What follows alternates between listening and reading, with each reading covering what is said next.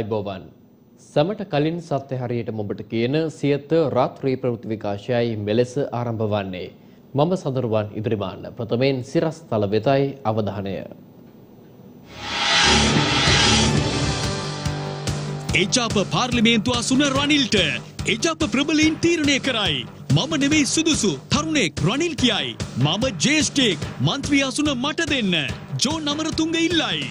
අකිල එජාප මහලේකම් දුහරෙන් ඉල්ලාස්වෙයි.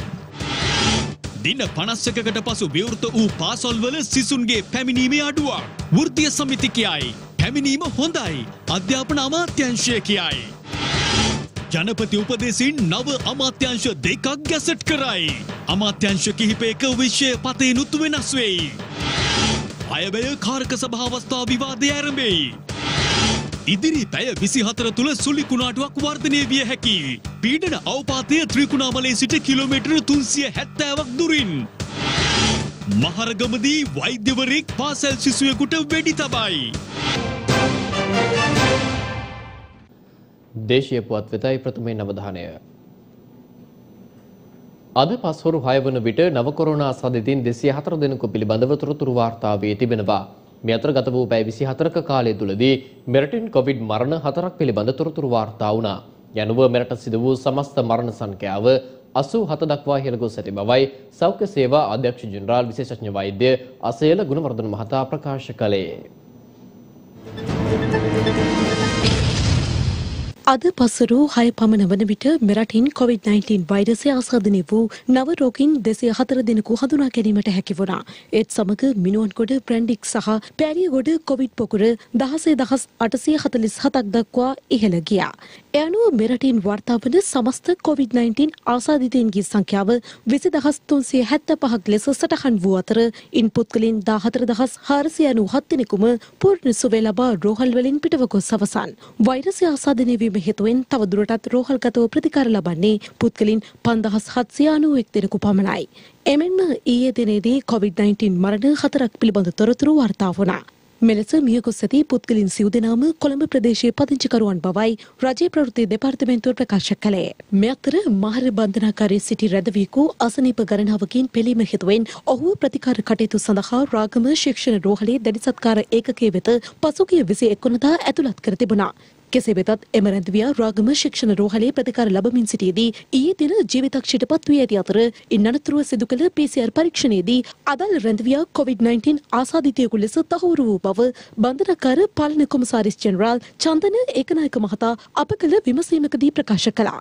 මෙම රැඳවියා වැලිකඩ බන්ධනාකාර රෝහලේ සිට මහර බන්ධනාකාරය වෙත මාරු කර තිබූ අතර එහිදී සිදු කළ PCR පරීක්ෂණයේදී ඔහුට වෛරසය ආසාදනය වී නොමැති බවට හඳුනාගත් බවයි බන්ධනාකාර පාලන කොමසාරිස් ජෙනරල්වරයා අප කළ විමසීමකදී වැඩිදුරටත් ප්‍රකාශ කළේ.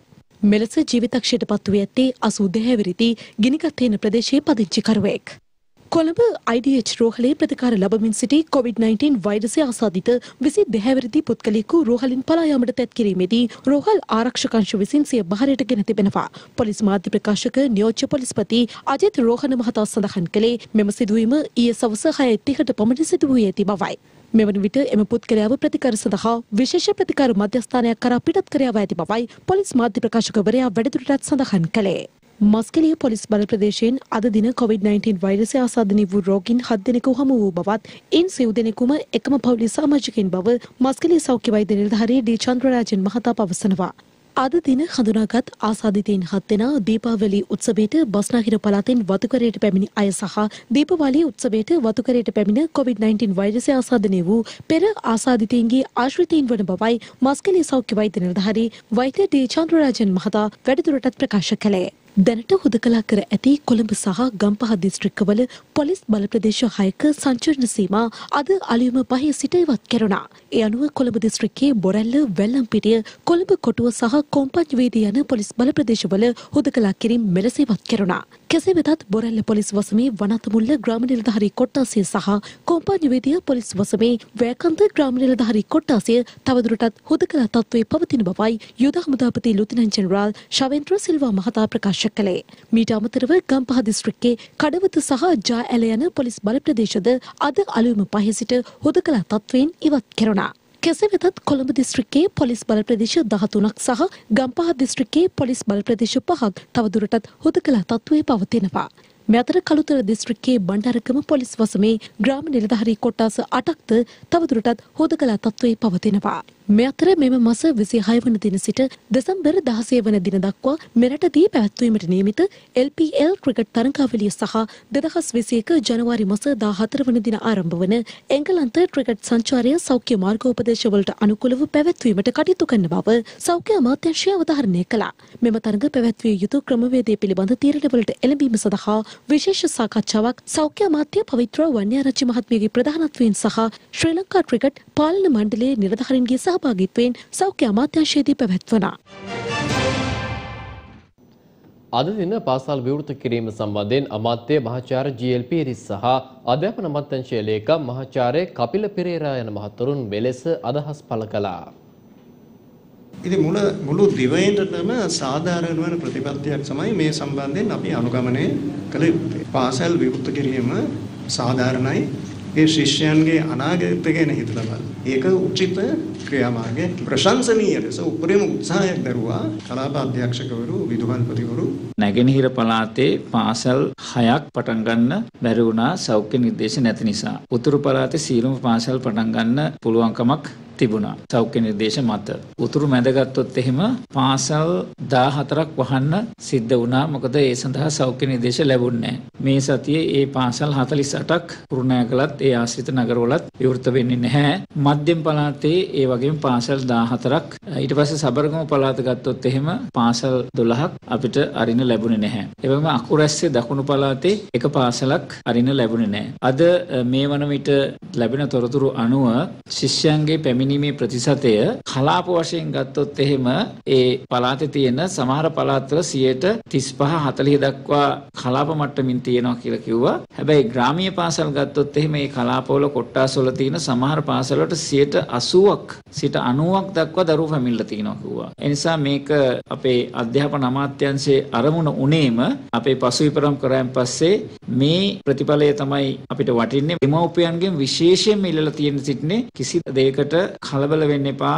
වෙනස් වෙන කොවිඩ් වසංගත තත්ත්වයේ ඇතුලේ ඔබේ දරුවා ඔබට සුරක්ෂිත බවින් තියෙනවා නම් පමණක් පාසලට යවන්න. මේ අතර අද දිනේදී පාසල් ආරම්භ කිරීම සම්බන්ධයෙන් ගුරු සංඝම් මෙලෙස සිය විරෝධය පළ කර සිටියා. අපි දන්නවා අපේ රටේ පාලකින්ට දරුවන්ගේ දරුවන්ගේ ජීවිත වැදගත් නැහැ. හැබැයි අපේ රටේ දෙමව්පියන්ට අපි දන්නවා අතිශයින් මොවුන්ගේ දරුවන්ගේ ජීවිත වැදගත්. තමන්ගේ දරුවෝ පාසලට නොයන්නේ ඇයි? පාසල් සනීපාරක්ෂක කටයුතු අවසන් කරන්න තරම් කාලයක් ඉතුරුනේ නැහැ. අධ්‍යාපන අමාත්‍යාංශයේ නිලධාරීන් ලේකම්වරයා ප්‍රකාශ කරනවා මිලියන 250ක් වෙන් කරලා තිබෙනවා මේ පාසල් වල සනීපාරක්ෂක කටයුතු සඳහා කියලා. නමුත් ඊටාම වගකීමෙන් අපි කියනවා ඒ කිසිදු මුදලක් ලබා දීලා නැහැ. ඒ වගේම තමයි රට පුරාම ගත්තොත් පාසල් වල පැමිණීම අතිශය දුර්වල මට්ටමක තියෙන්නේ. අපි කිව්වා මේ සේරම ළමයි එක සැරේ ගෙන්න ගන්න එපා කියලා. අපි කිව්වා 11 ඉඳලා 13 දක්වා ළමයි ගෙන්න ගන්න. මොකද මේ විශාල ළමයි සංඛ්‍යාව පාසලට ගෙනාවහම පාසල් පොකුරක් ඇති වුණොත් ඒයි වගකීම ගන්නෙ කවුද? නමුත් මේ කිසිම දෙයක් ඇහුවේ නැහැ. විතර අධ්‍යාපන ලේකම්වරයා මම වගකීම බාර ගන්නවා කියන්නේ මොන වගකීමද බාර ගන්න? ඒ කියන්නේ ළමයින්ට කොවිඩ් ආසාදනය වුණොත් ඒ වගකීමද? ඇත්තටම මේ මේ ඊටාම කනගාටුදායක තත්ත්වයක් මේක.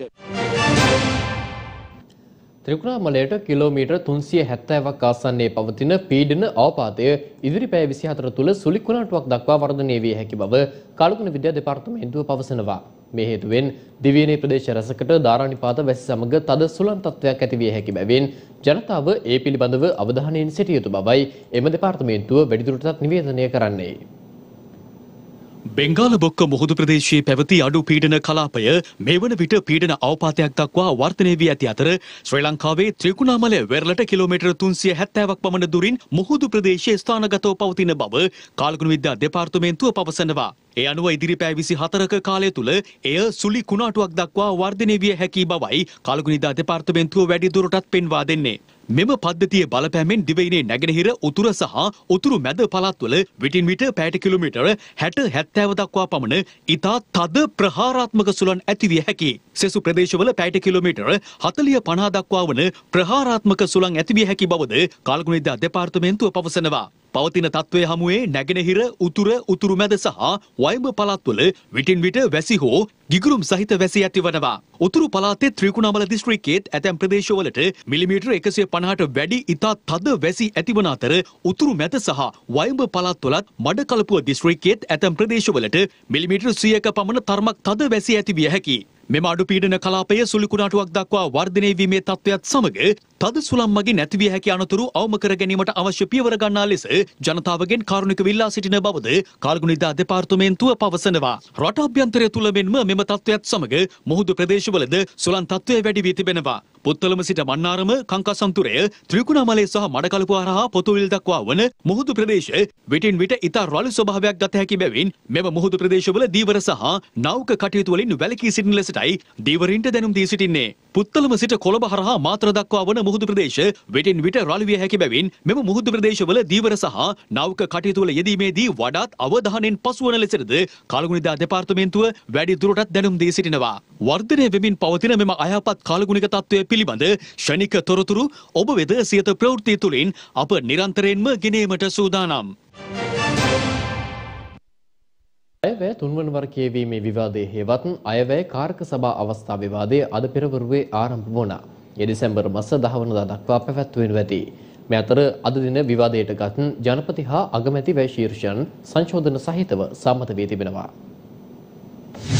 අද Google බැලුම තිබුණා නම් ඒ Google Loon කියන ප්‍රොජෙක්ට් එක මං කෙලින්ම විවෘතව කියනවා ඒක කඩාකප්පල් කරේ එවකට හිටපු ජනාධිපතිවරයා. කරු කතානායකතුමනි දේශපාලනයේ වෛරය මේ තාක්ෂණයට ගේන්න හොඳ නෑ. මං ගෝඨාභය රාජපක්ෂ මහත්තයා ෆේල් කිව්වයි කියලා ගොඩක් මිනිස්සු සමහරවිට මට බයිනවා. හැබැයි ගෝඨාභය රාජපක්ෂ මහත්තයා විශේෂ සම්මාර්ථකේ එකක් පාර. තමන් එක්ක හිටපු පෝට්ටුවේ 50ට සැලකුවා. අනික් කට්ටිය පස්සට තමයි. ඒක තමයි වෙච්ච හොඳම දේ මන් දැක්කේ. එතුමා කතාව පටන් ගත්තෙම අද මම වැදගත් කතාවක් කරන්න යන්නේ මඩ කතාවක් කරන්නේ නෑ කියලා. මට නම් දැනුනේ හරින් മന്ത്രിතුමනි ඔබතුමාගේ කතාව ඇහුවම ඒකේ මුළු සාරාංශ කරලා ගත්තොත් ඔබතුමා කියන්නේ මම ෆේල් වුණා මෙන්න මේ හින්දා කියලා. ආයේ ලංකාවේදී බැලුම් උඩ හරින්නේ නැහැ. හුලංගිය Google බැලුම ගැන ඇමති හරින් කියයි. ඒ නෑ මම පොයින්ට් එක මගේ නම කිව්වා. ඒක ප්‍රකාශ කරන්න. මගේ නම කිව්වා. ගරු කතානායකතුමනි ඒ කියන පත්තරේ එහෙම එකක් තියෙනවා නම් බොහොම ස්තුතියි. දන්නවා බොහොම ස්තුතියි. එහෙම ස්තුතියි. හරි ඔබතුමා. මම මේ ප්‍රවෘත්ති වාර්තාව කියවන්නේ.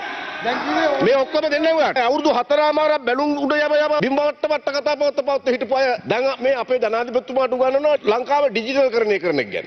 ගෝඨාභය රාජපක්ෂ ජනාධිපතිතුමා නැවත කවදාකවත් මේ රටේ මරාගෙන මැරෙන බෝම්බකාරයෙක් නිර්මාණය නොවන පරිසරය හැදීම සඳහා ඉතා බලවත් පීවර රසක් ගනී කියන විශ්වාසය අපිට තිබෙනවා. දැන් තවත් සහරාන් ගැන කියන එක නෙමෙයි වෙන්න ඕනේ මේවට දනුවම් දීම කරන්න ඕනේ. අපිට මතකයි ගිය සැරේ සහරාන්ගේ ප්‍රහාරයට මාස දෙක තුනකට කලින් CD පටියාව, හඬ පටියාව, තව නොයෙක් සලු පටහසට ආවා. මේ නාමල් කුමාරගේ මේ බරපතල ප්‍රකාශය ගැන පරීක්ෂණ පවත්වන්න ඕන. ඔහු එසේ මෙසේ ප්‍රකාශ කිහිපයක් නෙමෙයි කිව්වේ. අපේ කර්මාන්ත ඇමතිතුමා ඊයේ පෙරේදා රිජිට් ටයර් කර්මාන්ත ශාලාව නිරීක්ෂණය කරේ. ඊටාම හොඳයි. අපි රටේ ජනතාවට කියන්න ඕන මේ රිජිට් ටයර් කර්මාන්ත ශාලාව මේ අවුරුද්දෙන් එහෙම හදපු එකක් නෙමෙයි. පැහැදිලිවම 2017 තමයි මේ ෆැක්ටරිය ආරම්භ කළේ. ඒක අපි කොහෙවත් නැහැ කියන්නේ. අපි අනුන්ගේ ළමයින්ට උපැන්න සාතිකේ නම දෙන්න යන්නේ නැහැ. ෆැක්ටරිය ගැන නෙවෙයි තමුන්වන්සලාට විහිළු කරේ අර මොකද්ද Volkswagen එක ගැන. තමුන්නාන්සලාගේ විපක්ෂ නායකතුමා පෞගේ ජනාධිපතිවරණයේදී මොර දීලා කිව්වා ජනාධිපති වුණොත් ජනාධිපති මන්දිරයට යන්නේ නැහැ ගම්වල රාත්‍රී රාත්‍රී කියලා ඇවිදිනවා එහෙම කතන්දරයක් පොරොන්දු වුණේ නැහැ වර්තමාන ජනාධිපතිතුමා නමුත් ජනාධිපති වෙලා එතුමා ජනාධිපති මන්දිරය යන්නේ නැතුව එතුමා පදිංචි වෙලා ඉන්නේ තමන්ගේ පිටකෝට් එක ඉදිරියෙන් තමයි තාම ජනාධිපති කටයුතු කරන්නේ. අද මහ බැංකු හොරු ටිකත් එක්ක වෙනමම සහචර කල්ලියක මේ ආණ්ඩුව එකට එකතු වෙලා ඔවුන්ව ආරක්ෂා කරන්නේ වෙන කවුරුවත් නෙමේ ආණ්ඩුව. අයවැයක් ඉදිරිපත් කරන්න ඕන නිසා ඉදිරිපත් කරුවා අයක් මේ. දැන් කිරෝ ඕනෑම තැනක මුදල් හංගගෙන ඉන්නවනම් 100ට එකක් ගෙවලා සාධාරණීකරණය කරන්න මේ අයවැය අවස්ථාවක් දීලා තියෙනවා. මට කියන්න ඔබ තමුන්නාසලා අත උස්සලා අයවැය පහකදී මොනවද දීපු සංඛ්‍යාලයක? 2014 6.4ට තිබුණු ආර්ථික වර්ධන වේගය 2.3ට පල්ලෙහාට දාන්න අතේස්සුව ඔබ තමුන්නාසලා ඩොලර් එක එකසේ තිස්තුනේ ඉඳලා එකසේ අසුනමයට යන්න අත උසවූ මන්ත්‍රීවරු පිට පිට අවුරුදු දෙකක් රිනාගයක් දක්වා කෘෂිකර්මාන්තේ කොඳු නාරටිය කැඩුවා විතරක් නෙවෙයි මේ රටේ. හාල් නැවෙනකන් තෙල් නැවෙනකන් මිනිස්සු බලාගෙන යුගයක් බවට පත් කරා. විශේෂයෙන්ම අපි අහනවා ඇයි මේ ජනාධිපතිතුමාගේ වැයශීෂ්‍යයට විශේෂයෙන්ම මිලියන 9350ක් වෙන් කරලා තියෙන්නේ. මොනා කරනවද? දැන් බලන්න අවුරුද්දක් වෙනවා ජනාධිපතිතුමා පත් වෙනවා මුලින්ම ගියා RMB එක. කියලා ඉඳගත්තා. කතා කරා. කතා කළා කිව්වා මේක කාර්යක්ෂම කරන්න කියලා. අද ඒක කාර්යක්ෂම වෙලා තියෙනවා. තිබ්බට වඩා ප්‍රශ්න. ජනාධිපතිතුමා අධිකරණයේ ස්වාධීනත්වයට මැදිහත් වෙලත් නැහැ. මැදිහත් වෙන්න බලාපොරොත්තු වෙන්නෙත් නැහැ. ඒ වෙච්ච දේවල් අපි පහුගිය කාලේ දැක්කා. පෞද්ගලිකව ජනාධිපතිතුමා වෙනුවෙන් නඩු 35කට විතර පිටි ඉඳලා තියෙනවා. නඩු පිට නඩු දැම්මා. වෙන මොනවා හරි විමර්ශනයකට ගියාම කියනවා මේකට ගෝඨාභය රාජපක්ෂ මහත්තයා සම්බන්ධයි කරලා කියන්න තමුසේ නිදහස් කරලා යවන්නම් කියලා. ඇෆිඩවිට් තියෙනවා අපි ගාව. අගමැතිතුමාට විරුද්ධව නඩු දැම්මා. මම දන්නවා මේ පෞද්ගලිකව නඩුව මොකද මේ හැම නඩුවකම පෙනී ඉඳලා තියෙන හින්දා. ඉතා කනගාටුයි කියන්න අධිකරණයේ මේ ආණ්ඩු පක්ෂයේ නියෝජනය කරන යම් යම් පුද්ගලයින්ගේ නඩු මේ වෙනකොට අපි දකිනවා එක්ක නිදොස් කොට නිදහස් තහනම් තිබ්බේව නැති වෙලා යනවා එක නීතියක් එක රටක් නෑ. දා කනගාටුයි කියන්න ආණ්ඩු පක්ෂයට එක නීතියක් විපක්ෂයේ අනිත් අයට තව නීතියක්. මේ ඔවුන්ගේ ආණ්ඩුව කාලේ ඔවුන්ට ජනතාවගේ අවශ්‍යතා ඉටු කරගන්න බැරුව තමන්ගේ පෞද්ගලික අවශ්‍යතා ඉටු කරගෙන ජනතාව අන්ත අසරණ පරාජයක් ඔවුන්ට ලබා දුන්නට පස්සේ අද වැදගත් වැඩපිළිවෙලක් ගෙනියන යන මහින්ද රාජපක්ෂ අගමැතිතුමාට පාර්ලිමේන්තුව තුළ ඉදිරිපත් කරපු අයවැයටත් ගෝඨාභය රාජපක්ෂ ජනාධිපතිතුමාටත් මේ ඉතාම පහත් මට්ටමේ විවේචනයක් පමණයි මේ එල්ල කරන්නේ. අපිට පේනවානේ පිල්ලයන් මැතිතුමා පාර්ලිමේන්තුවට එන්න විතරයි මන්ත්‍රීවරයෙක් කැරියට වරප්‍රසාද තියෙන්නේ. නමුත් පිල්ලයන් මැතිතුමා යනවා මඩ කලපුවේ ගිහිල්ලා පුවත්පත් සාකච්ඡා කිය. සංවර්ධන කමිටුවට යනවා. ඉතින් කොහොමද එහෙම අධිකරණය එහෙම නීති ආධිපත්‍ය ගැන කතා කරපු ජනාධිපතිතුමා යටතේ එහෙම වෙන්නේ? දැඩි අර්බුදකාරී තත්ත්වයක් නිර්මාණය කළ එක්සත් ජාතික පක්ෂයේ පාර්ලිමේන්තු මන්ත්‍රී ධූරය සඳහා එම පක්ෂයේ නායක හිටපු අග්‍රාමාත්‍ය රනිල් වික්‍රමසිංහ මහතාගේ නම පක්ෂයේ මන්ත්‍රී කණ්ඩායම විසින් යෝජනා කර තිබෙනවා. ඒ අද පෙරවරුවේ සිරිකොත පක්ෂ මූලස්ථානයේ පැවති රැස්වීමකදී කෙසේ වෙතත් මේ සම්බන්ධයෙන් විපක්ෂ නායක රනිල් වික්‍රමසිංහ මහතා මෙතෙක් නිල ප්‍රකාශයක් සිදු කර නැහැ. අද පෙරවරුවේ රැස් වූ එක්සත් ජාතික පක්ෂ හිටපු පාර්ලිමේන්තු කණ්ඩායම් රැස්වීමේදී පක්ෂයට හිමි ජාතික ලැයිස්තු මන්ත්‍රී දුහුරය සඳහා පක්ෂ නායක හිටපු අග්‍රාමාත්‍ය රනිල් වික්‍රමසිංහ මහතා පත් කිරීමේ යෝජනාවක් ඉදිරිපත්ව තිබෙනවා. පක්ෂ කළමනාකරන කමිටුව සාමාජිකයින් දහ නව දෙනෙකුගෙන් සමන්විත වන අතර ඉන් දහ තුන් දෙනෙකුම සිය අත්සන් යොදා රනිල් වික්‍රමසිංහ මහතාට කැමැත්ත පළ කර ඇති බවයි පක්ෂ ජේෂ්ඨයින් පවසන්නේ. තීන්දුවක් නැහැ. නෑ. ඒ කියන්නේ මොකක් කචල්ලයක් ගියා. කචල්ලයක්. වැඩේ ඉවර. ඉතින් එහෙනම් සර් පත්තු කරන්න ඕනනේ. ඉතින් ඒක තමයි තීරණය දෙයි නේද? ආ. දැන් අද අවසාන තීන්දුව ගන්නවා කියලා තමයි කිව්වේ. නෑ එහෙම එකක්. නෑනේ. ඒ කියන්නේ මොකද්ද මෙතන හිරුුනේ කොහෙද? ඉරවුනේ නෑ දිනායකතුමා කිව්වා යා යන්න කැමති නෑ කියලා. ඉතින් එහෙම නැති වුණොත් ඒ ටික කාලයකට හරි මම කිව්වා මට දෙන්නවා නම් මම අරගෙන කරලා ඊට පස්සේ යාට ගන්න. දැන් දැන් මේ පාර්ලිමේන්තු ධූරය අවශ්‍යයිනේ. මේක එන්න එන්න කල්යන එක හරි නෑනේ මොකද? ඔව් මම මම නම් කියන්නේ ඡන්ද ඉවරෙච්ච ගමන් ඕක කරලා ඉවර කරනවා නම් ඉවරයි. ඉවරයි නේ. ඔබතුමාට ඉල්ලීමක් කරන්න පුළුවන් නේ ප්‍රසිද්ධිය. නෑ එහෙම කැමති නෑ බලන්න. දැන් කවුද ඉන්නේ තරගෙට ඉන්නේ කවුද? තරගයක් නෑ. එහෙම තරගයක් තේරුන්නේ නෑ. ඒ කාලේ එක එක්කෙනා මොන කී කී හිටියලු. ආහා. ඒවට ක්‍රියාත්මක වුණේ නෑ. ඔබතුමා කියන්නේ ඔබතුමායි තව කවුද ඉන්නේ සුසු? වෙන කවුරුත් නෑ මම නෑ ජ්‍යෙෂ්ඨ මන්ත්‍රීවරයා මම තමයි ලයිස්ට්ේ බලන්නේ තියෙන්නේ. මම ඡන්දෙ ඉල්ලුවෙත් නෑ ඡන්ද පෙරදුනෙත් නෑ. තුමා ඔය කරන කතාවෙන් අද සාකච්ඡාවේ ඔය ටික කිව්වද මම ඔය මොකුත් කියන්නේ කියලා. ඒ කියන්නේ රනිල් මහත්තයා එන්නේ නැද්ද පාර්ලිමේන්තු? ඒක කිව්වෙත් නෑ. පාර්ලිමේන්තු යන්නේ කවුද? ඒ ගැන දැන් සාකච්ඡා කරගෙන යනවා අපි ඒක හරියට තීන්දුව ගන්නවා. නායකතුමාගේ නම තමයි යෝජනා වෙලා තිබ්බේ මේක අර්ජුන රන්තුන් මහත්මයාත් ඔක්කොම අද අපෝ යෝජනා කරුවා ඒක මම නායකතුමා ගැන තාම අදහසක් ප්‍රකාශ කරන්න නැහැ මාර්ගය ඉවේ ඉස්සලා යන්නේ නැහැ කියන එක ස්ථාවරය තමයි හිටියේ. නමුත් ඒක දැන් පාර්ලිමේන්තු මන්ත්‍රී කණ්ඩායමක් කිව්වා එතුමා කියුවේ තමයි හොඳ කියලා. ඉතින් ඒක නම් මම හිතන්නේ නායකතුමා පොඩ්ඩක් එකට බලලා තීරණයක් ගන්න කියලා තමයි කිව්වේ. දැන් ඔබතුමාට වැඩි වගකීමක් තියෙන මේ කණ්ඩායම මෙහෙවන්න. මේ මේ සම්බන්ධයෙන් එක තීරණයකට තාමත් දෙන්න හැකියාවක් නැහැ. නෑ ඒක දැන් තියෙන්නේ නායකතුමාගේ අතේ. කවුද වගේ නමයක් කවුද විතර නායකතුමා එනකොට තුමාගෙන් අපිට තියෙන්නේ තව නම් මොනවද තියෙන්නේ? යෝන් නම්බර තුන මහතාට තියෙන නමද? නෑ ඉතින් අපි දැන් දැන් කොහොමද නායකතුමාගේ අදහස තමයි මේ ජාතික ලයිස්ට්‍රේන් සෞරයන් මේ තවන බෝවර්ග මන්ත්‍රීවරයෙක් යන්න ඕනේ කියන අදහස තමයි එතුමාගේ.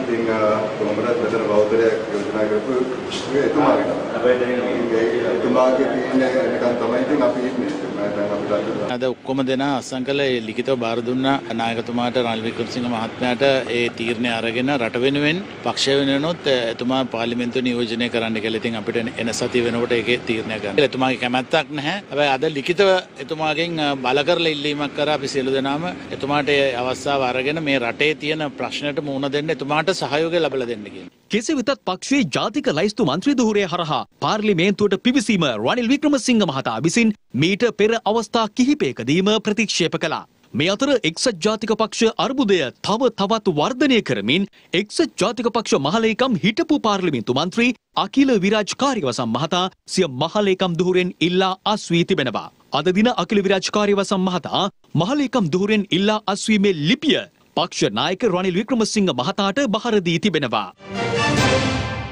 තාක්ෂණ අමාත්‍යංශය සහ මහජන ආරක්ෂක අමාත්‍යංශය ලෙස නව අමාත්‍යංශ දෙකක් ගැසට් පත්‍රයකින් ජනාධිපති ගෝඨාභය රාජපක්ෂ මහතා විසින් ප්‍රකාශයට පත් කර තිබෙනවා. ඒ අනුව මෙරට කැබිනට් අමාත්‍යංශ සංඛ්‍යාව 30ක්. රාජ්‍ය අතිවිශේෂ ගැසට් නිවේදනයක් නිකුත් කරමින් සඳහන් කරන්නේ තාක්ෂණ අමාත්‍යංශය සහ මහජන ආරක්ෂක අමාත්‍යංශය ලෙස නව අමාත්‍යංශ දෙකක් සඳහා විෂයපතයන් ගැසට් කර ඇති බවයි. අදාළ අමාත්‍යංශවල විෂයපතයන් සහ කර්තව්‍යයන් පිළිබඳව ගැසට් පත්‍රය මගින් ප්‍රකාශයට පත් කර තිබෙනවා. ඒ අනුව තාක්ෂණ අමාත්‍යංශය යටතට ශ්‍රී ලංකා විදුලි සංදේශ නියාමන කොමිෂන් සභාව සහ අනුබද්ධ ආයතන, තොරතුරු සහ සංනිවේදන තාක්ෂණ නියෝජිත ආයතනය, ශ්‍රී ලංකා පරිගණක හදිසි ප්‍රතිචාර සංසදය, ශ්‍රී ලංකා ටෙලිකොම් සමාගම සහ එහි පාලිත සමාගම් හා ආශ්‍රිත සමාගම්, කාර්මික තාක්ෂණ ආයතනය, Sri Lanka institute of nano technology private limited, ජාතික විද්‍යා සහ තාක්ෂණ කොමිෂන් සභාව, සියලුම තොරතුරු තාක්ෂණ උද්‍යාන, ශ්‍රී ලංකා ප්‍රමිති ආයතනය සහ පුද්ගලින් ලියාපදිංචි කිරීමේ දෙපාර්තමේන්තුව ඇතුළු ආයතන 10ක් ඇතුළත්. මහජන ආරක්ෂක අමාත්‍යංශය සඳහා ශ්‍රී ලංකා පොලිසිය, ජාතික පොලිස් අභ්‍යාස ආයතනය, සිවිල් ආරක්ෂක දෙපාර්තමේන්තුව සහ බහුකාර්ය සංවර්ධන කාර්යසාධක බලකා දෙපාර්තමේන්තුව ඇතුළත් කර තිබෙනවා. මීට අමතරව අමාත්‍යංශ කිහිපයක විෂයපතයන්ද මෙම ගැසට් නිවේදනය මගින් සංශෝධනය කර තිබෙනවා. මහර්ගම ඇරැව්වල ප්‍රදේශයේ පාසල් ක්‍රීඩාංගණයක ක්‍රීඩා කරමින් සිටි පාසල් සිසුවෙකුට වෛද්‍යවරයෙකු විසින් සිය වායු රයිෆලයෙන් වෙඩි තබා තිබෙනවා. සිද්ධියෙන් තුවාල ලබා ඇති පාසල් සිසුවා මේ වන විට කළුබෝවිල රෝහලේ ප්‍රතිකාර ලබනවා. මහරගම පන්නිපිටිය ප්‍රදේශයේ පිහිටි පාසලක ක්‍රීඩා පිටියේ ක්‍රීඩා කරමින් සිටි පාසල් සිසුවෙකුට වෛද්‍යවරයෙකු විසින් වයිර් රයිෆලයකින් වෙඩි තබා තිබෙනවා. අප වාර්තාකරුවන් පැවසුවේ අදාළ පාසල් සිසුවා පාසල් ක්‍රීඩා භූමියේ ක්‍රීඩා කරමින් සිටින අතරතුර සිසුවා ක්‍රීඩා කරමින් සිටි පන්දුව අසල පිහිටි වෛද්‍යවරයෙකුගේ නිවසේ ඉඩමකට ගොස් ඇති බවයි. මින් දැඩි ලෙස කෝපයට පත්වී ඇති අදාළ වෛද්‍යවරයා තමා සතු වයිර් රයිෆලයකින් මෙම පාසල් සිසුවාට වෙඩි තබා තිබෙනවා. තුවාල ලැබූ සිසුවා කළුබෝවිල රෝහලට ඇතුළත් කර තිබෙන්නේ. වයස අවුරුදු 17ක් පමණ වන මෙම පාසල් සිසුවාගේ පපුව සහ උදරය අතර ප්‍රදේශයකට වෙඩි ප්‍රහාර එල්ල වී ඇති බවද සඳහන්. මේ සම්බන්ධයෙන් ලද පැමිණිල්ලක් මත මහරගම පොලිසිය විසින් අදාළ වෛද්‍යවරයා සැකපිට අත්අඩංගුවට ගෙන තිබෙනවා. ඔහු අද දින අධිකරණ ඉදිරිපත් කිරීමෙන් අනතුරුව ලබන දෙසැම්බර් මාස දෙවනදා දක්වා රක්ෂිත බන්ධනාගාරගත කිරීමටයි නියම කර තිබෙන්නේ. මෙම වෙඩි තැබීම සිදු කර ඇත්තේ මහරගම අපේක්ෂාරෝහලේ සේවය කරන වෛද්‍යවරයෙක්. එම සිදුවීම සම්බන්ධයෙන් මහරගම අපේක්ෂාරෝහලේ වෛද්‍ය අධ්‍යක්ෂකවරයා මෙලෙස මාධ්‍ය හමුවේ අදහස් පළ කළා. ඊයේ මට මහරගම පොලිසි ස්ථානාධිපතිතුමා දැනුම් දුන්නා මහරගම අපේක්ෂාරෝහලේ වෛද්‍යවරයෙක් මේ පන්නිපිට ධර්මපාලි පාසල් ශිෂ්‍යයෙකුට වායු රයිෆලකින් වෙඩි තියලා කියලා අද එතුමා මට වාර්තාවක් උසාවි වාර්තාවක් කෙව්වා මේ ඒ වෛද්‍යවරයාට අප දුන්නේ නැහැ කියලා. ඒ දරුවගේ උරසේ මේ දකුණු පියවරට උඩින් තුවාලයක් සිද්ධ වෙලා තියෙන උණ්ඩේ ගිහිල්ලා ප්‍රතිකාර ලැබෙමින් සිටිනවා. ඉතින් මහරගම අපේක්ෂාරෝහල වගේ ඉතාමත් මේ මානව හිතවාදී ඒ වගේම මානව දයාවෙන් යුක්ත කාර්ය මණ්ඩලයක් ඉන්න රෝහලක කෙනෙක් අතින් මේ වගේ දෙයක් සිදුවීම ගැන ඒ රෝහලේ ප්‍රධානීය විදියටත් ඒ කාර්ය සම්පූර්ණ කාර්ය මණ්ඩල වෙනුවෙන් සහ වෛද්‍යවරුන් වෙනුවෙන් මම සමාව අයදිනවා මේ පන්නිපිටි ධර්මපාල විදුහලේ විදුහල පොතේත කාර්යමණ්ඩලෙන් සහ ඒ දරුවගේ දෙමව්පියන්ගෙන් අපි සඳහා ඒ කියන්නේ විනය ක්‍රියාමාර්ග ගන්නවා කියලා දැනුම් දෙනවා. දෙදහස් පහළ වසරේ ජනාධිපතිවරණය පැවති සමයේ දිවිනැගුම සංවර්ධන දෙපාර්තමේන්තුවට අයත් රුපියල් මිලියන දෙදහස් නවසය අනු දෙකක මුදලක් වැය කර නිවාස ආධාර ලබාදීම තුළින් රජයේ මුදල් සාවද්‍ය ලෙස පරිහරණය කළේ යැයි චෝදනා කොට පවරා තිබෙන නඩුවේ විත්තිකරුවෙකු වන හිටපු අමාත්‍ය බැසිල් රාජපක්ෂ මහතාට පනවා තිබූ විදේශ ගමන් තහනම ඉවත් කරන ලෙස කොළඹ මහාධිකරණ විනිසුරු ආර් ගුරුසිංහ මහතා නියෝග කර තිබෙනවා. මෙම නඩුව අද කැඳ වූ අවස්ථාවේදී බැසිල් රාජපක්ෂ මහතා වෙනුවෙන් පෙනී සිටි ජනාධිපති නීතිඥ ගාමිණී මාරපන මහතා අධිකරණය හමුවේ කරුණු දක්වමින් තම සේවාදායකයා ජනාධිපතිවරයා විසින් පත් කර තිබෙන ආර්ථික කාර්යසාධන කමිටුවක ප්‍රධානත්වයේ දරමින් කටයුතු කරන බැවින් ඔහුට රාජකාරීමේ කටයුතු සඳහා විදේශගත වීමට අවශ්‍ය වී තිබෙන බව දැනුම් දුන්නා. ඒ බව තහවුරු කරමින් ජනාධිපති ලේකම්වරයා විසින් නිකුත් කරන ලද ලිපියක්ද ජනාධිපති නීතිඥ මාරපන මහතා අධිකරණයට බහර දුන්නා. එමෙන්ම මෙම නඩුවේ අප ලබා දුන් අවස්ථාව අවස්ථාවේදී සෑම මාස තුනකටම වරක් පොලිස් මූල්‍ය අපරාධ විමර්ශන කොට්ටාසයට වාර්තා කළ යුතු බවට අධිකරණය මගින් ඇප කොන්දේසියක් පැන වූ බවත් එම ඇප කොන්දේසිය විත්තිකරු විසින් මේ දක්වා කඩ කර නොමැති බැවින් එයද ඉවත් කිරීමේ නියෝගයක් නිකුත් කරන ලෙසයි ජනාධිපති නීතිඥවරයා අධිකරණයෙන් ඉල්ලා සිටියේ. එම ඉල්ලීම්වලට නීතිපතිවරයා වෙනුවෙන් පෙනී සිටි රජයේ නියෝජ්‍ය සොලිසිටර් ජෙනරාල් තුසිත් මුදලිගේ මහතා විරුද්ධ වූයේ නැහැ. ඒ අනුව බැසිල් රාජපක්ෂ මහතා වෙත පනවා තිබූ විදේශ ගමන් තහනම ඉවත් කිරීමට පියවර ගන්නා ලෙස නියෝග කළ මහා මහාධිකරණ විනිසුරුවරයා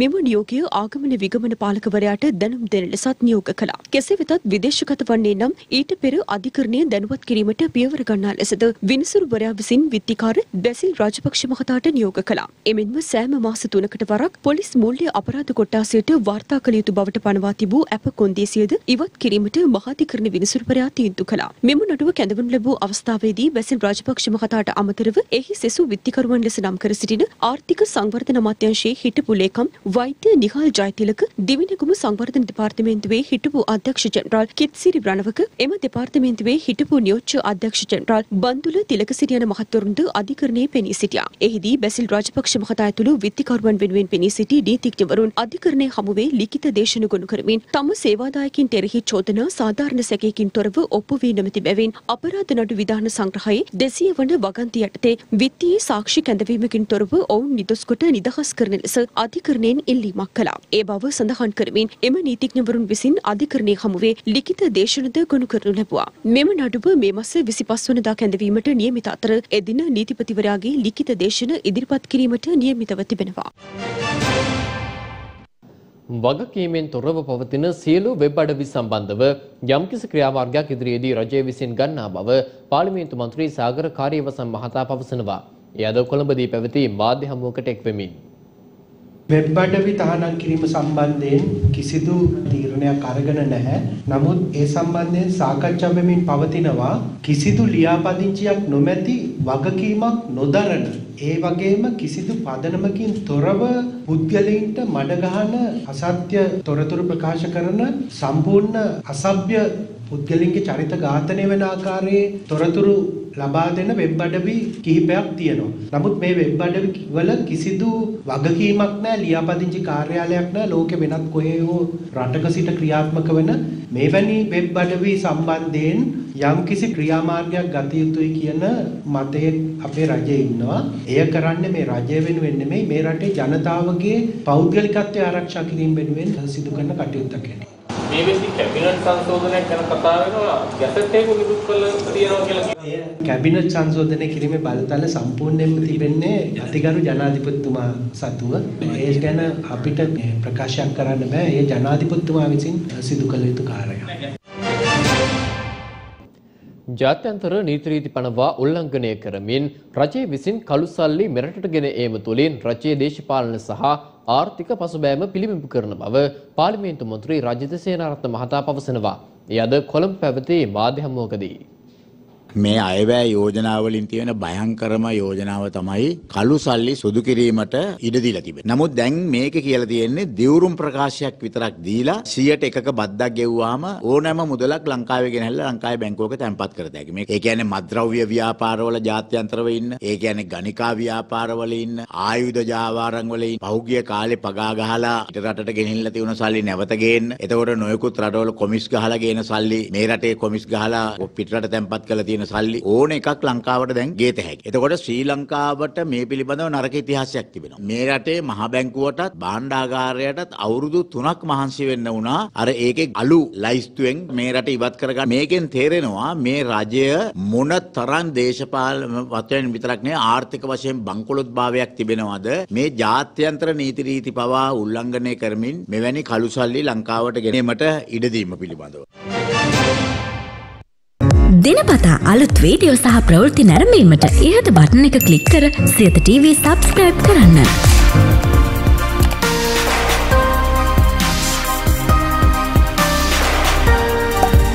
අලුත් වීඩියෝ ගැන මුලින්ම දැනගන්න මෙම සීනුව ක්ලික් කරන්න.